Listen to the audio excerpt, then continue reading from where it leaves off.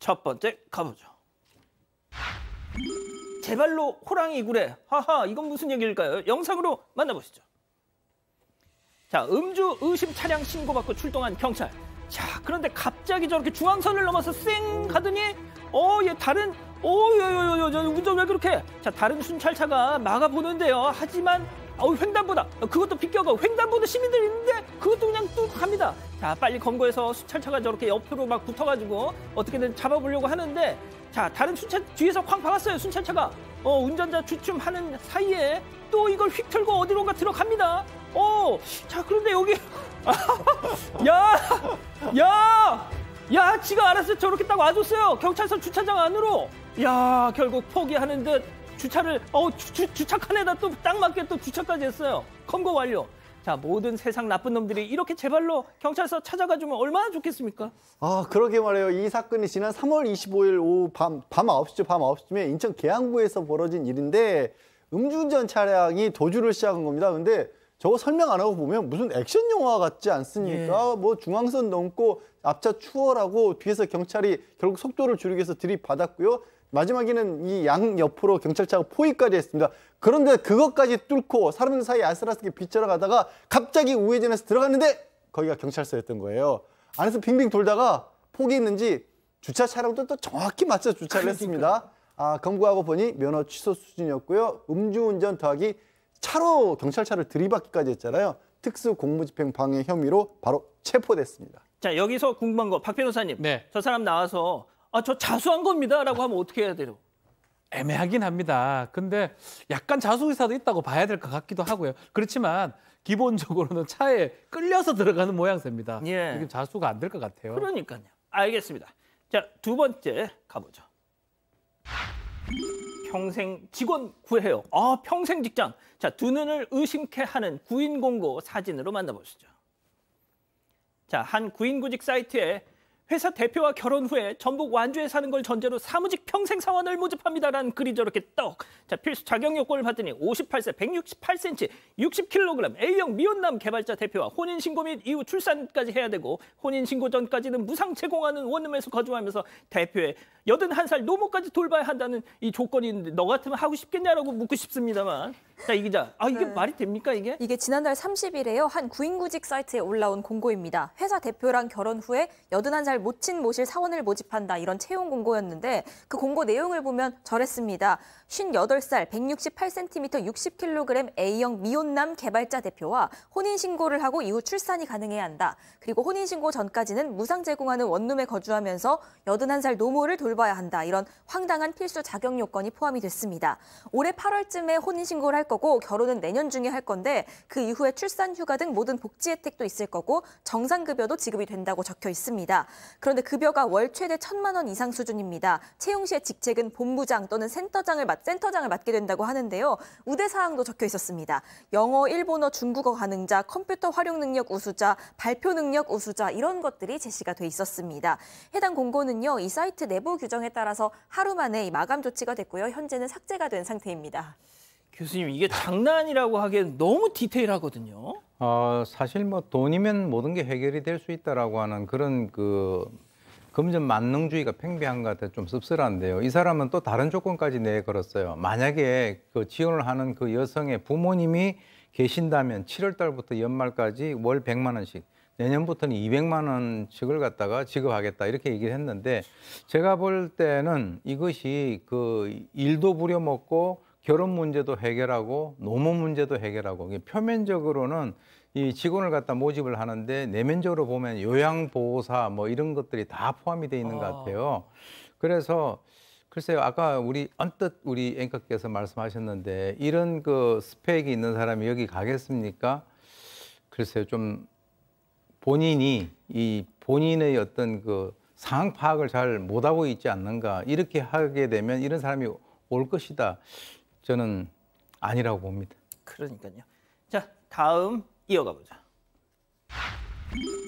아찔한 졸음 운전입니다. 자, 날도 슬슬 더워지고 오늘은 그래서 졸음 운전 준비해 봤습니다. 함께 보시죠. 자, 앞에 가는 주, 차 주목해 주세요. 자, 그런데 좌측으로 좀 점점 점점 점 기우뚱 기우뚱 하면 불박스럽게 나나나나 야야야야 아유 세상에. 아우, 아이고, 이거 완전히 그냥 본이 완전 찌그러졌어요. 박 변호사님, 이 자, 영상을 보고 네. 앞차가 잘못이다. 아니다. 안전거리 미확보한 뒤차가 잘못이다. 의견이 나뉘고 있습니다. 자, 기본적으로 앞차는 지금 졸음운전 하다가 구조물에 받고 지금 전복이 된 상황이고 뒷차는 지금 보시는 바와 같이 안전거리가 확보가 안 되고 있습니다. 기본적으로 앞뒤 차의 추돌 사고에서는 안전거리 확보를 못한 뒷차의 과실이 크다고 보는 게 일반적인데 여기서 좀 특별히 봐야 될 부분 뭐냐면 뒷차 입장에서는 만약에 저기서 뭐 확보를 했다 하더라도 이게 피할 방법 자체가 없거든요. 왜냐하면 또 아. 다른 차선에는 큰 트럭이 지금 진행하고 아, 그렇죠. 있는 상황입니다. 그래서 지금 감론을박이 되는 상황인데 기본적으로는요. 앞뒤 차량의 어, 문제라고 보고 앞뒤 차량의 추돌로 본다 그러면 안전거리 미확보한 지금 블랙박스 차량의 과실이 커 보이는 상황이고 세상에. 만약에 큰 문제 없으면 100대 0이에요 사실은. 어. 100대 0인데 전복됐기 때문에 졸음운전으로 앞차에 뭔가 전방 주시 의무라든지 졸음운전 그런 부분이 과실이 있는지를 따져봐야 될 것 같습니다. 그렇군요. 자 또 다른 영상 만나보시죠. 자 차량 고장으로 인해서 잠시 갓길에 트럭을 세웁니다 자, 트럭 세워요. 자, 그리고 조수석 열고 내리려고 하는데 자, 저 뒤따라오던 차가 그냥 꽝! 자, 이후에 자, 꽝! 이후 트럭 운전자가 아, 쓰러진 차, 뒤차 운전자, 아, 운전자가 저렇게 길가로 나와 있습니다.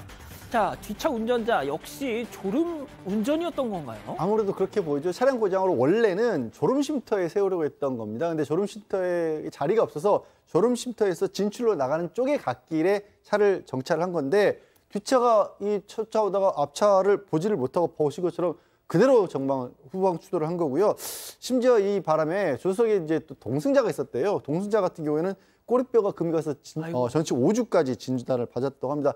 이 와중에 상대방에서는 또 앞차에 과실도 있는 거 아니냐라고 주장을 하고 있답니다. 왜냐하면 이제 비상등을 켰다 할지라도 차 멈출 때는 삼각대 설치를 해야 되는데 예. 지금 사실 그럴 여유가 없었어요. 그렇죠. 그러니까 차가 서자마자 뒤쫓아서 네. 왔기 때문에 뭐 삼각대를 설치하고 뭐고 할 여유도 없어서 이것도 뒷차 과실이 거의 전부가 아닐까 싶습니다. 이 상황에서는. 그렇군요. 알겠습니다. 자, 다음 뉴스도 이어가 보죠. 논란의 사이클 선수입니다.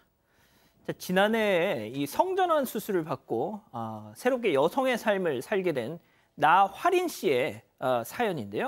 자, 트랜스젠더라고 하죠. 어, 국내 최초로 트랜스젠더로서 국내 최초로 어, 도민체전에 출전한다고요? 네, 키가 180cm, 몸무게는 72kg, 그리고 골격근량은 32.7kg입니다. 이 나와린 씨는 지난해까진 남성이었지만요. 지금은 30대 여성이 됐습니다. 강원도민체전 사이클 경기에 여성 부문으로 출사표를 던졌습니다. 이다 씨는 지난 2012년에 이미 남자로서 이 대회에 출전해서요. 우승을 차지한 적이 있습니다. 그런데 지난해 성전환 수술을 받고 이번엔 여성 자격으로 출전하게 됐습니다. 트랜스젠더 여성으로서는 국내 최초 사례인데요. 이걸 두고 이게 공정한 게 맞냐 이런 지적이. 나오고도 있습니다. 아하. 이에 대해서 이 나 씨는 내가 상을 받으면 어차피 인정을 못 받을 걸 안다. 그렇다면 체급 나누듯이 성소수자를 따로 출전시키는 것이 공정이란 스포츠 정신에 차라리 부합하지 않겠냐 이렇게 얘기를 합니다. 그러면서 이번 출전을 통해서요 차별이 아닌 구별을 얘기하고 싶고 이 남녀로 딱 잘라 정해진 출전 부문에 성소수자가 비집고 들어갈 틈을 내는 것이다 이렇게 덧붙이기도 했습니다. 그런데 이 대한체육회에 확인한 결과에요 이 출전 규정에 대한민국 국적 가진 남녀 외에 별다른 제한이 없다고 합니다. 그렇기 아. 때문에 나화린 씨로서는 출전 자격에는 문제가 없는 것으로 파악이 되고 있습니다. 음, 나화린 씨 스스로가 어, 이 자신의 출전으로 논란이 커지길 원한다라고 얘기를 하고 있네요. 그렇군요. 자, 다음 뉴스 이어가 보죠. 수박이 기가 막혀. 아하, 이건 또 무슨 얘기일까요? 일단 사진으로 만나보시죠.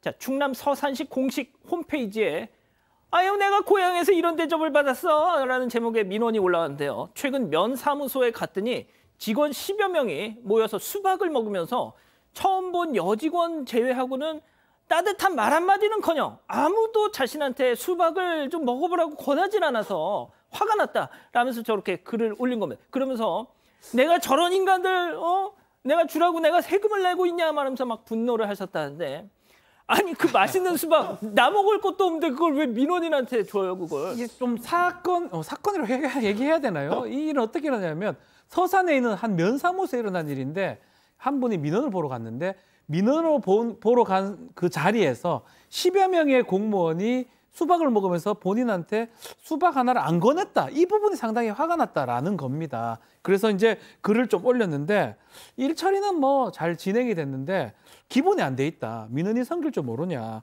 이게 부모 교육 문제인지 공무원 교육 문제인지 연수는 왜 받으러 가는지라고 하면서 배운 게 전혀 없다. 섬기는 거 전혀 모른다. 이래 글을 썼는데요. 글쎄 수박 먹고 싶으면 먹고 싶다고 얘기하면 되잖아요. 마침 또 우리 박 변호사님 수박 그 수박 안쪽 옷을 좀 옷을 입고, 입고. 나오셨어 수박, 또. 수박 시시하신데 그러니까 저는 그냥 개인적으로 먹고 싶으면 수박 맛있네요라고 한마디 하면 그냥 줘요. 맞아, 맞아, 맞아. 아무 말도 안 했으니까 안 준 거 아닌가? 그냥 그런 앞에서 들어요. 이 혀, 아유, 아 이거 달아요. 그러면 줍니다. 예. 예, 근데 알아서 주시기를 원했던 예 거. 그런 생각 하셨던 것 같아요. 교수님 어떻게 보셨습니까? 우리가 이제 통상 말 한마디로 천냥빚을 갚는다는 얘기가 있는데 어떻게 보면 제가 봤을 때 그렇게 분노할 일은 아닌 것 같아요. 왜 그러냐면 이 사람들이 만약에 그 뭐 낮에 뭐 왜 너희들 업무 시간에 수박 먹냐 뭐 이렇게 얘기를 갖다가 하는데 사실은 뭐 시골에서 누구 뭐 어떤 뭐 그 위에 있는 분이 아 날씨도 덥고 하니까 수박 한 덩어리 먹고 좀 힘내자 이렇게 할 수는 있거든요. 그런데 그 상황에서 권하질 않으니까 아마 이분이 상당히 좀 이렇게 마음이 상했던 것 같아요. 자기가 무시당한다라고 그렇게 생각을 해서 그래서 아, 앞으로 이제 이거 가지고 뭐 서로가 이- 이쪽이 잘했냐 못했냐 뭐 부모 교육 이런 얘기를 갖다가 하실 거는 없고 앞으로 이제 이 그 프로를 보시는 많은 그 공무원들 계시잖아요. 혹시 수박 드시다가 여러 명 오시면 들 수가 없고 한 명 정도 있으면은 한번 권해 보시기 바랍니다. 이건 제가 봤을 때는 사건이 아니고 그냥 해프닝이 아닌가 이런 생각이 듭니다. 그러니까요. 알겠습니다. 자, 다음 사연으로 가보죠. 시, 시댁의 시가의 정확한 계산 문화. 아, 약간 느낌이 옵니다. 네, 가족 식사를 했는데 칼같이 더치페이를 하는 이 시가의 계산 문화 때문에 충격을 받았다. 이런 여성의 사연입니다. 신혼인데요. 얼마 전에 시가 식구들이랑 식사를 했습니다. 그런데 이 식사를 하고 나서요. 카운터에서 시누이가 먼저 계산하고 그 뒤로 시부모님, 남편까지 줄줄이 서서 각자 카드로 계산을 한 겁니다. 뭐 술을 안 먹은 사람, 적게 먹은 사람, 많이 먹은 사람 이렇게 차이가 있긴 했지만 그렇게까지 따지진 않고요. 정말 인당으로 n분의 1씩 나눠서 계산을 했다고 합니다. 사실 아내 친정 같은 경우에는 부모님 모시고 식사하면 한 날은 동생이 사고 다른 한 날은 아내가 사고 이런 식으로 번갈아 가면서 낸다고 하는데 어허. 이렇게 몇백 원 단위까지 맞춰서 칼같이 더치페이 하는 이런 문화에 충격을 좀 받았는데 더치페이가 좀 나쁘다는 건 아니지만 가족끼리 이렇게까지 하는 게 맞는 건가 싶다는 입장입니다. 자, 기다리고 기다리셨던 부처 hands up time. 우리 가족 여러분들도 채팅창에 OX로 함께 참여해 보시죠. 먼저 아내입니다. 오빠, 지훈이 오빠, 어, 대구 사투리 쓰면서 생활 방식은 완전 American style이네. 아무리 그래도 가족 간 식사인데 아, 회비를 걷든지 아니면 돌아가면서 어, 사든지 해야지. 아, 이게 뭐 하는 거야? 여긴 역사와 전통이 숨쉬는 대한민국이라고요. 동그라미. 아, 예. 좋습니다. 이 구도 좋아요. 다 다음은 남편. 자기야. 우리 집 신토불이 토종이야. 가족 간의 돈몇 푼으로 어? 의상한 일이 얼마나 많아. 사건 반장만 보도 맨날 나오잖아. 자, 이게 현명한 거야? 자, 대한민국도 문화 좀 바꿔야 돼. 우리가 앞서 가는 거라기요, X. 자, 우리 수박옷 입고 나오신 우리. 근데 이거는. 사실은 취, 취향 아닌가요? 취향이고 또 최근에는 더치페이 하는 경우가 많잖아요. 저 같은 경우도 사실은 누가 사고 누가 이제 그, 그런 것들을 많이 이제 익숙한 문화인데 이제 절, 좀 젊으신 저보다 그런 분들하고 이제 식사를 하고 하다 보면 더치페이를 많이 하더라고요. 그래서 이걸 갖고 뭐 누가 옳다 그러다 말할 필요도 없는 거고요. 이렇게 한다면 그렇게 하면 또 공평한 또 장점이 있는 거고. 그래서 저는 남편 치가에서 이렇게 계속 반, 이렇게 반복하고 있다면 받아들이면 어때요? 좋잖아요. 어, 진짜. 알겠습니다. 자, 우리 양 변호사님. 어, 저는 오히려 친구들끼리 너무 칼같이 더치페이 하는 건 좀 씁쓸하게 보는 편인데요. 어. 이 집안은 어, 정말 훌륭한 집안 아닌가요? 다른 아, 것보다도? 어. 시부모님이 부모님이 자발적으로 당신들 드신 값을 내신 거예요. 어. 며느리, 저 며느리라는 표현도 좋아하지 않긴 합니다만 예. 편, 편의상 이 며느리 되신 분 입장에서는 앞으로 부모님이 얼마나 배려를 해주신 게 아닌가 싶습니다. 이거 아. 사실 지금이니까 괜찮지만 나중에 뭐 신우이도 아이 생기고 뭐 우리 뭐 아내분도 아이 생기고 그러면 누구네 집에 애가 많고 뭐 애가 아, 좋고 맞아. 시부모님 드시는 거 좋아하는 거 가려다 보니까 아 돈 비싸게 나올 것 같은데 아들이니까 내내 우리 집에만 내라 그러고 이런 집이 어. 얼마나 많아요. 부모님이 각자 내신다는 거 보고 저는 야 이런 집안도 있을 수도 있구나 싶어서 어 좀 배워야 제가 배우겠다. 저희 부모님한테가 아니라 만약에 제가 나중에 시부모가 되면 배워야겠다는 생각했어요. 어, 또 그렇게 깊은 뜻이. 자, 우리 교수님 말씀 궁금하네요. 일단 그 집안에서 이제 결혼을 하게 되면 그쪽 집안에 있어서 이 어떤 문화적인 충격 같은 것이 있습니다. 그래서 이제 칼 같은 집안에 시집을 가셔서 어떻게 보면 그 순간에 칼바람을 느끼신 것은 아닌가 하는 이런 생각이 드는데요. 어, 저는 이제 이렇게 생각을 해요. 이 사실 제가 만약에 그 여성의 입장이라고 한다면 그 시누이가 계산하고 시부모가 계산하고 이렇게 하는 거 그런 집들이 우리나라에 그렇게 많나요? 글쎄요. 저는 별로 없으니까요. 예, 별로 이런 없, 사연이. 예. 없어서 제가 만약에 그 여성 같으면은 어, 이게 좀 약간 당황스럽다 이런 얘기를 갖다가 어, 할 것 같습니다. 저 여성에 대해서 제가 동의를 한다라고 하는 그런 측면에서 제가 이제 아까 동그라미를 했고요. 어, 실제로 저도 이렇게 뭐 그 아무리 그 우리가 더치페이가 그 좋다라고 하지만 뭐 그런 식으로 하는 거는 저도 당황스러울 것 같은데 하나 이런 건 있습니다. 이 며느리가 새로 들어가서 이 집에 오래된 이 풍습을 갖다가 고치기는 거의 힘들 것 같습니다. 그러니까 이제 아까도 이제 그 우리 그 박 이제 박 변호사님 말씀하셨는데 여기에 적응을 한 수밖에 없긴 없는데 좀 상당히 어 낯서네요. 제가 봐도. 그러니까 낯설죠. 자, 이 기자. 네, 가족 여러분들은 어 이거 굉장히 좋은 문화다 이런 반응들이 의외로 되게 많으십니다. 오. 물론 뭐 여행 스케치님은 그게 가족이냐 이런 의견도 주셨지만요. 콜라는 칠성님 맨날 내가 내는데 난 처가가 저런다면 대환영입니다 하셨고요. 마리님 어 저런 거 너무 좋다 하셨습니다. 정우님 나는 저 치페이 좋아 그럼 사이도 좋아져 하셨고요. 최은희님도 서로 부담 안 가고 좋은 것 같습니다라는 의견 주셨습니다. 그렇군요. 알겠습니다. 이 사건의 진실을 추적하고 싶으십니까? 그렇다면 사반 채널을 구독해 주세요. 지금까지 이자연 기자였습니다.